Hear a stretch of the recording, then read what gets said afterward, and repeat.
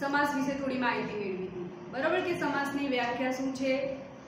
તો સમાસની વ્યાખ્યા હતી કે પદોની યોગ્ય ગોઠવણીને આપણે સમાસ કહીએ છીએ. વ્યાખ્યા સમાસ સમજ્યા બાદ આપણે વિગ્રહ કેવી રીતે થાય એની માહિતી મેળવી હતી. અને ત્યારબાદ આપણે દ્વંદ્વ સમાસ એટલે શું? એની વ્યાખ્યા અને એને આપણે ઉદાહરણો દ્વારા સમજ્યા હતા. તો આજે આપણે મધ્યમ પદરૂપી સમાસ અને ઉપપદ સમાસ વિશે માહિતી મેળવીશું. આગળના વખતની જેમ જ આપણે પહેલા સૌપ્રથમ મધ્યમ પદલોપી સમાસ કોને કહે છે એની વ્યાખ્યા સમજ્યા બાદ જ આપણે ઉદાહરણ સમજીશું, એટલે તમને વધારે ખ્યાલ આવશે. તો મધ્યમ પદલોપી સમાસ એટલે શું? એ સમજવું બહુ જરૂરી છે. તો મતલબ મધ્યમ પદલોપી સમાસની વ્યાખ્યા મેં અહીંયા આગળ લખેલી છે કે કોને મધ્યમ પદલોપી સમાસ કહેવાય? કે આ સમાસ એક શબ્દ સમૂહ પ્રકારનો સમાસ છે. જેમાં સમાસ કરતી વખતે પૂર્વપદ અને ઉત્તરપદની વચ્ચે રહેલા મધ્યમ પદનો લોપ કરવામાં આવે છે. આ સમાસની એક મેઇન બાબત છે, ખાસ બાબત છે. શું છે? કે જેમાં સમાસ કરતી વખતે પૂર્વપદ અને ઉત્તરપદની વચ્ચે રહેલા મધ્યમ પદનો શું કરવામાં આવે છે? લોપ કરવામાં આવે છે. પરંતુ જ્યારે સામાસિક વિગ્રહ કરવામાં આવે છે, ત્યારે મધ્યમ પદ ઉમેરીને જ વિગ્રહ કરવામાં આવે છે. શું કહે છે? પૂર્વ પદનો આપણે ઉપર કીધું કે શું કર મધ્ય પદનો શું કરવામાં આવે છે? લોપ કરવામાં છે. પરંતુ આપણે જ્યારે એનો વિગ્રહ કરીએ છીએ, ઉદાહરણ આપીએ ત્યારે ત્યારે મધ્યમ પદને ઉમેરીને પછી જ એનો વિગ્રહ થઈ શકે છે. મધ્યમ પદ ઉમેર્યા વગર આપણે એનો વિગ્રહ કરી શકતા નથી. આ હતી મધ્યમ પદ લોપી સમાસની વ્યાખ્યા. વ્યાખ્યા થોડી સમજશો એટલે તમને સમાસ સમજવામાં થોડી સરળતા રહેશે. ફરીથી એકવાર આપણે વ્યાખ્યા જોઈએ ત્યારબાદ આપણે ઉદાહરણો જોઈશું. કે આ સમાસ એ કેવો સમાસ છે? શબ્દ સમૂહ પ્રકારનો સમાસ છે. કે જેમાં સમાસ કરતી વખતે પૂર્વપદ અને ઉત્તરપદની વચ્ચે રહેલા મધ્યમ પદનો શું કરવામાં આવે છે?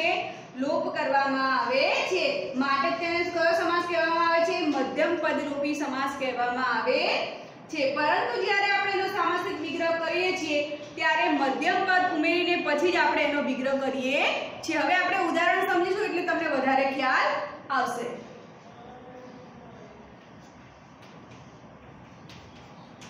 પહેલું ઉદાહરણ આપણે જોઈશું કે આગગાડી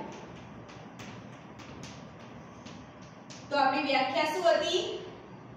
કે પૂર્વપદ અને ઉત્તરપદની વચ્ચે રહેલા મધ્યપદનો શું કરવામાં આવે છે? લોપ કરવામાં છે. તો આપણે પહેલા એનો વિગ્રહ કરીએ એટલે તમને વધારે આઈડિયા આવશે કે આગગાડી તો આપણે વિગ્રહ કરીએ, એનો તો શું થાય? આગ વડે ચાલતી ગાડી એને શું કહેવાય? આગગાડી તો આ થયું પૂર્વપદ, આ થયું ઉત્તરપદ અને આ થયું મધ્યમ પદ. બરાબર? આટલી વસ્તુ તમને ખ્યાલ આવી?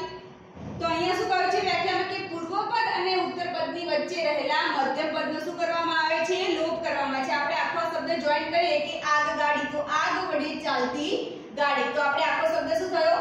આગગાડી એવો શબ્દ છે તો અહીંયા મધ્યમ પદ અહીંયા જે વડે ચાલતી છે મધ્યમ પદ, એ અહીંયા તમને શબ્દમાં દેખાતું નથી કે આગ વડે ચાલતી ગાડીને આપણે શું કહીએ છીએ? આગગાડી બીજું આપણે ઉદાહરણ સમજીએ કે દવાખાનું.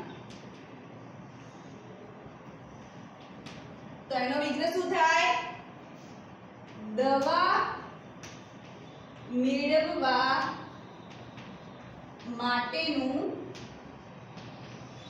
ખાન. એને શું કહેવામાં દવાખાનું તો અહીંયા પણ તમે જોઈ શકો છો કે પૂર્વ પદ, ઉત્તર પદ અને વચ્ચે રહેલું મધ્યમ મધ્યમપદ મધ્યપદનો પણ અહીંયા લોપ થયેલો છે. કે દવાખાનું તો દવા મેળવવા માટેનું ખાનું. એને શું કહેવામાં આવે? દવાખાનું. આગળ આપણે બીજું ઉદાહરણ જોઈએ કે હાથ રૂમાલ શું? હાથ રૂમાલ તો એનો વિગ્રહ કેવી રીતે થાય? હાથમાં રાખવા માટેનો રૂમાલ આ સમાસમાં તમને જો વિગ્રહ કરતા આવડશે અને પૂર્વપદ અને ઉત્તરપદ ઓળખતા આવડશે, તો તમને આ સમાસ ઇઝીલી સમજવામાં સમજ પડશે. તો અહીંયા પણ તમે જોઈ શકો છો આ પૂર્વપદ ઉત્તરપદના આ શું શું છે? મધ્યમ પદ. કે હાથનું માધ્યમ વિગ્રહ કેવો થાય? હાથમાં રાખવા માટેનો રૂમાલ તો અહીંયા પણ મધ્યમ પદનો લોપ થયેલો છે. માટે એને મધ્યમ પદલોપી સમાસ કહેવામાં આવે છે. ચોથું છે હિન્દુસ્તાન. તો વિગ્રહ કેવી રીતે કરીશું? તો હિન્દુઓને રહેવા માટેનું સ્થાન. અને શું કહેવાય? હિન્દુસ્તાન તો અહીંયા પણ મધ્યમ પદનો લોપ થયેલો તમને જોવા મળે છે કે હિન્દુઓને રહેવા માટેનું સ્થાન એને શું કહેવાય? હિન્દુસ્તાન કહેવાય છે. આગળ બીજું ઉદાહરણ આપણે સમજીએ કે મેઘધનુષ્ય.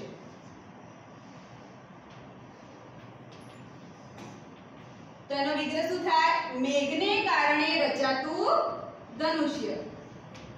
મેઘને કારણે રચાતું ધનુષ્ય. એને શું કહેવાય? મેઘધનુષ. તો અહીંયા પણ તમે જોઈ શકો છો કે મધ્યમ પદનો શું થયો છે? લોપ થયો છે. મેઘધનુષ એટલે કે મેઘને કારણે રચાતું ધનુષ્ય અને મેઘધનુષ્ય કહીએ છીએ આગળ બીજું ઉદાહરણ જોઈએ કે જકાત નાખવું તો એનો વિગ્રહ શું થાય? જકાત ભરવા માટેનું નાકું. જેને આપણે શું કહીએ છીએ? Toll tax. જકાત ભરવા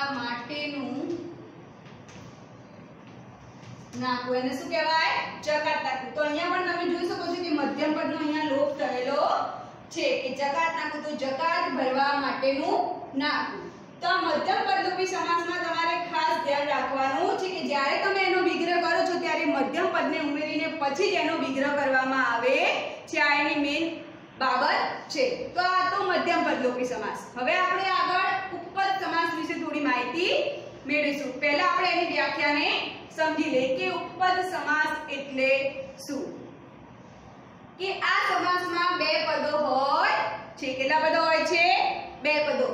જેમાં પૂર્વપદ નામ અને ઉત્તરપદ ક્રિયાનું વાચક હોય છે. શું કહે છે? પૂર્વપદમાં શું આપેલું હોય છે? કોઈ પણ નામ આપેલું હોય છે અને જે ઉત્તરપદ છે એ ક્રિયાનું વાચક હોય છે. પૂર્વપદ અને ઉત્તરપદ વિભક્ત વિભક્તિ સંબંધથી જોડાયેલું હોય છે. શું કહે છે? પૂર્વપદ અને ઉત્તરપદ વચ્ચે કયો સંબંધ છે? વિભક્તિ સંબંધથી બંને પદો જોડાયેલા હોય છે. તમને ખ્યાલ હશે કે કેટલી વિભક્તિઓ છે? સાત વિભક્તિ છે. કર્તા કર્મ કરણ સંપ્રદાન પદાન અધિકરણ. બરાબર? તો વિભક્તિ જો તમને ખ્યાલ ના હોય તો એ પણ જાણી લેવી જરૂરી છે. તો શું કહે છે? પૂર્વપદ અને ઉત્તરપદ શેનાથી જોડાયેલો છે? વિભક્તિ સંબંધથી જોડાયેલું હોય છે. સામાસિક વિગ્રહ કરતી વખતે પાછળ રહેલા ક્રિયાવાચક શબ્દને લિંગ પ્રમાણે નાર કે નારી જેવો શબ્દ મૂકીને વિગ્રહ થાય છે. શું કહે છે અહીંયા? આ એક ઉપપદ સમાસને ઓળખવા માટેની ટ્રીક છે. જ્યારે તમે એનો વિગ્રહ કરો છો, ત્યારે જે પાછળ ક્રિયાવાચક શબ્દ આપેલો હોય છે, એ શબ્દને લિંગ પ્રમાણે નાર અથવા નારી એવો શબ્દ મૂકી અને પછી જ એનો વિગ્રહ કરવામાં આવે છે. આ એને ઓળખવા માટેની એક સરળ ટ્રીક છે કે જ્યાં જ્યારે આપણે એનો વિગ્રહ કરીએ, ત્યારે પાછળનો જે ઉત્તરપદ છે, એને ક્રિયાવાચક શબ્દને નાર અથવા નારી જેવો શબ્દ મૂકીને આપણે એનો વિગ્રહ કરીએ છીએ.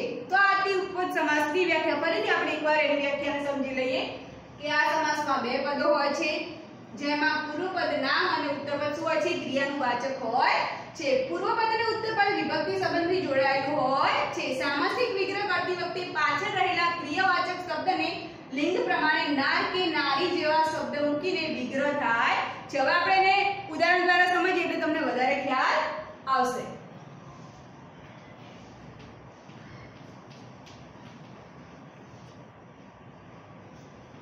પંકજ. તો આપણે જ્યારે આનો વિગ્રહ કરીએ કે પંકજ, પંક મીન્સ કાદવ. એને કાદવ કહેવાય. તો કાદવમાં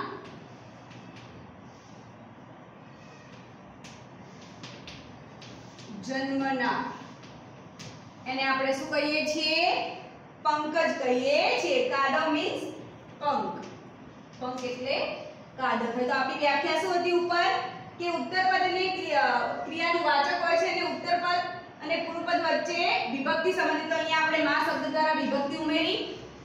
સામાસિક વિગ્રહ કરતી વખતે પાછળ રહેલા ક્રિયાવાચક શબ્દને લિંગ પ્રમાણે ના કે નારી જેવો શબ્દ મૂકીને વિગ્રહ કરવામાં આવે તો આપણે જોયું કે કાદવમાં જન્મનાર તો અહીંયા આપણે લિંગ પ્રમાણે અહીંયા નાર અથવા નારી શબ્દ લગાવ્યો છે. બીજું ઉદાહરણ આપણે જોઈએ કે પગરખું. પગરખું. તો એનો વિગ્રહ શું થાય? પગનું રક્ષણ કરનાર. પગનું રક્ષણ કરનાર. એને શું કહેવાય? પગરખું. તો અહીંયા પણ તમે જોઈ શકો છો કે પાછળનો જે શબ્દ છે એને આપણે નાર અથવા નારી શબ્દ લગાવીને એનો વિગ્રહ કર્યો છે કે પગરખું તો પગનું રક્ષણ કરનાર કરનાર હોય એને આપણે પગરખું કહીએ છીએ. આગળ બીજું ઉદાહરણ આપણે જોઈએ કે ગિરિધર.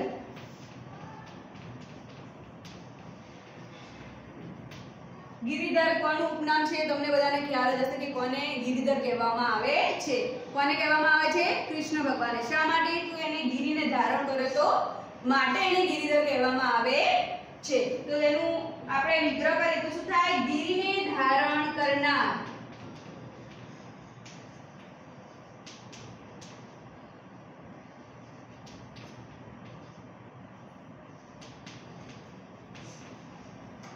અહીં પણ તમે જોઈ શકો છો કે આપણી વ્યાખ્યા પ્રમાણે અહીંયા પણ પાછળ ક્રિયાવાચક શબ્દને આપણે ના રચવા નારીઓ શબ્દ મૂકીને એનો વિગ્રહ કર્યો છે. હવે બીજું આપણે આગળ ઉદાહરણ જોઈએ કે ગૃહસ્થ. તો એના વિગ્રહ શું થાય? ઘરમાં રહેનાર. ગૃહમાં રહેનાર કે ઘરમાં રહેનાર? એને શું કહેવાય? ગૃહસ્થ કહેવાય. તો અહીં પણ તમે જોઈ શકો છો, આપણે વાચક ક્રિયાવાચક શબ્દને નાર અથવા નારી શબ્દ મૂકીને એનો વિગ્રહ